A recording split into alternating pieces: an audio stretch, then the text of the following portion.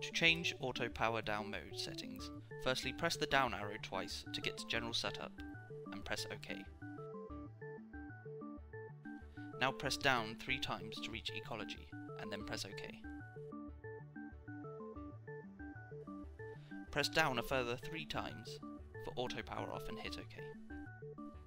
Here you can select which power down option you like and press go to confirm your selection. For example, selecting 1 hour will mean the printer will automatically power down after the amount of time has elapsed.